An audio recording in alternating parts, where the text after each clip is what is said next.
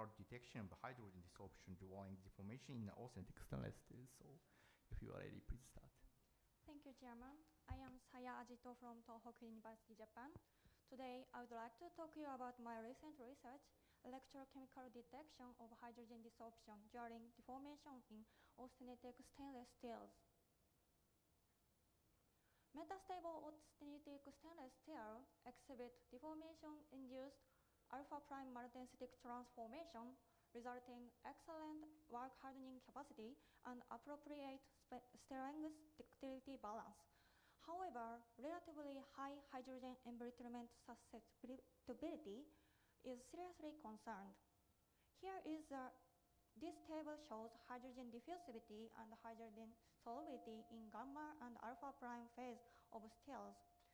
Ga alpha prime phase transformation cause low the decrease in hydrogen diffusivity and the increase in hydrogen diffus diffusivity. These local changes may cause hydrogen redistribution. Therefore, hydrogen detection during martensitic transformation is a key to understanding the hydrogen embrittlement of metastable austenitic stainless steels. Although there is some difficulty of hydrogen detection during deformation, during deformation, electrochemical hydrogen detection technique has successfully measured hydrogen, hydrogen diffusion behavior during deformation in iron and nickel. Here is the principle of, principle of electro uh, experiment used in this study. In this study, hydrogen is introduced before deformation. During the deformation, hydrogen deforms, from the specimen and dissolved hydrogen is oxidized at the surface as this equation. Hydrogen desorption rate V can be obtained with oxidation current and Faraday constant as shown in this equation. Therefore, in this study, we measured hydrogen desorption rate by electrochemical technique and the effect of deformation on hydrogen desorption behavior from metastable austenitic stainless steel will be discussed.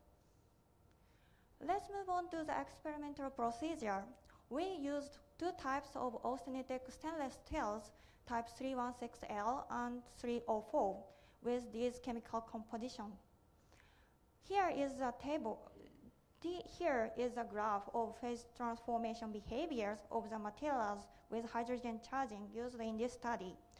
Although type 316L does not show any austenitic gamma alpha prime phase transformation, three, type 304 shows dramatic phase transformation. We used two types of different austenitic stainless steel with two different gamma stability to, to compare the effect of phase transformation on hydrogen desorption behavior. Here is the outline of this study.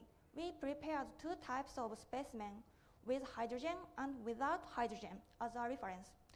Firstly, we, hydrogen was introduced into the specimen with hydrogen. Then,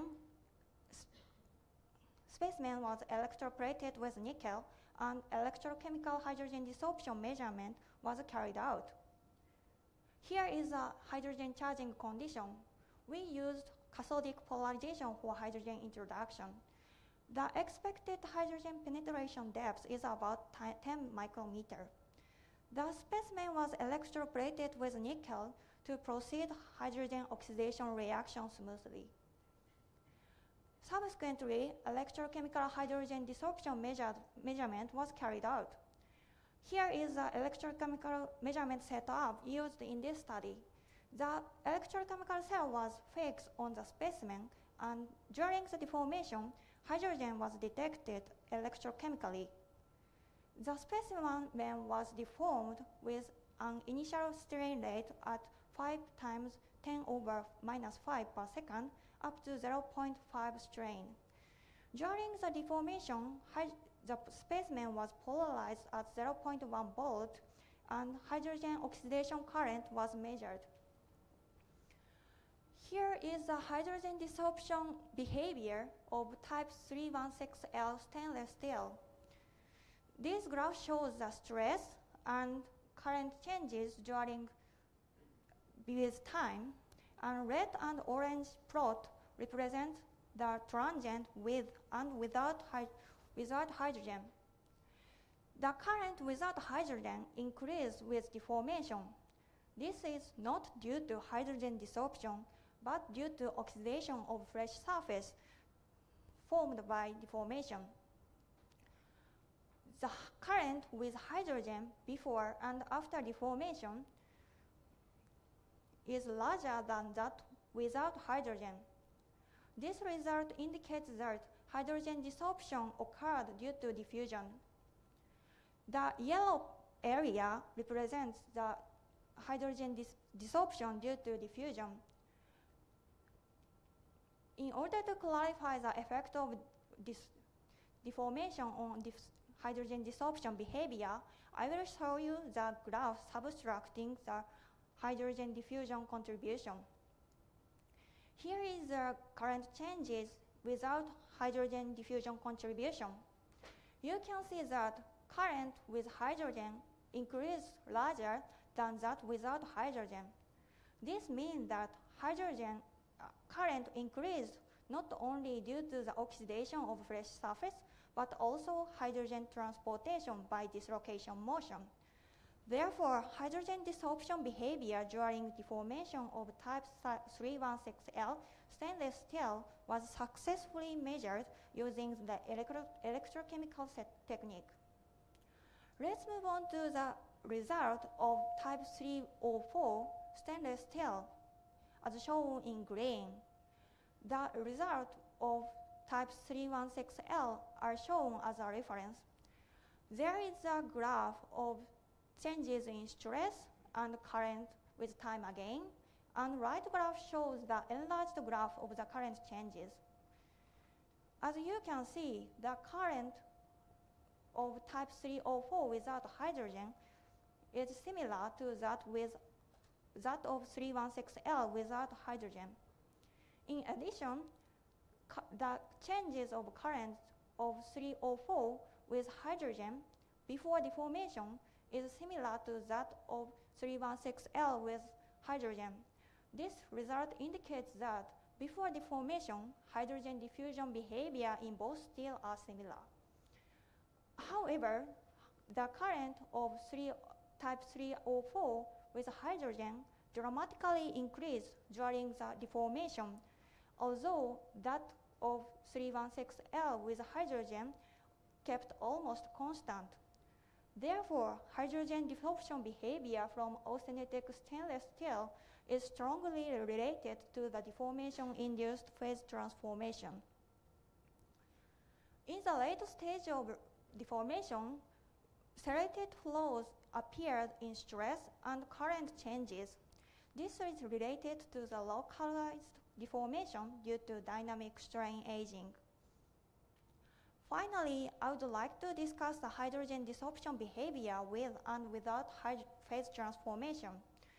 Type 316L does not show phase transformation. That is, the result of type 316L means hydrogen desorption behavior from gamma phase. We detected hydrogen desorption due to hydrogen transportation by dislocation motion and hydrogen diffuse, diffusion. However, hydrogen desorption rate was small. On the other hand, type 304 stainless steel shows dramatic alpha prime phase transformation. Therefore, the difference between the result of type 304 and 316L indicates the effect of phase transformation on hydrogen desorption behavior. Hydrogen desorption behavior during alpha prime phase transformation should be considered the effect of hydrogen transportation by transformation dislocation motion and dislocation motion in alpha prime phase and hydrogen diffusion in alpha prime phase in addition to the hydrogen transportation by dislocation motion and hydrogen diffusion in gamma phase. The small effect of hydrogen transportation by dislocation motion indicates the small effect of hydrogen transportation by transformation, dislocation motion, and dislocation motion in alpha prime phase. The alpha prime transformation causes the decrease in hydrogen solubility, resulting hydrogen supersaturation in alpha prime phase. In addition, hydrogen diffusivity in alpha prime phase is much higher than that in gamma phase. That is, supersaturated hydrogen diffusion occurred from alpha prime phase with high hydrogen diffusivity, resulting remarkable hydrogen desorption. Here is the conclusion of my today's talk. Thank you for your kind attention.